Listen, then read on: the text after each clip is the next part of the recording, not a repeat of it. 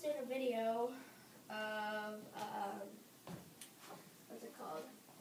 Of describing, not describing, but like telling people of YouTube that I'm not Dutch, but I'm learning Dutch. And I don't live in the Netherlands. And yeah. And so right now in my hand I have my cello bow. And I was gonna, I guess, show you guys my cello.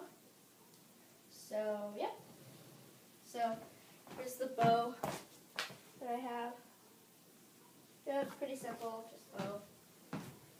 Um, this is my cello. It's pretty awesome. I love my cello. And I play in orchestra at school. I know you guys can't see my face, but oh well. And this is my cello. It's a really nice cello.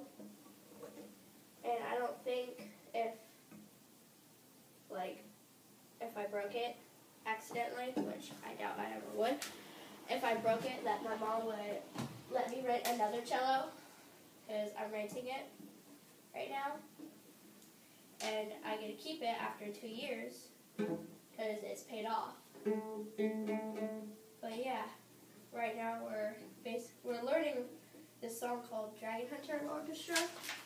It's quite confusing due to like Dakotas and stuff. But yeah, I can play pretty well. And yep.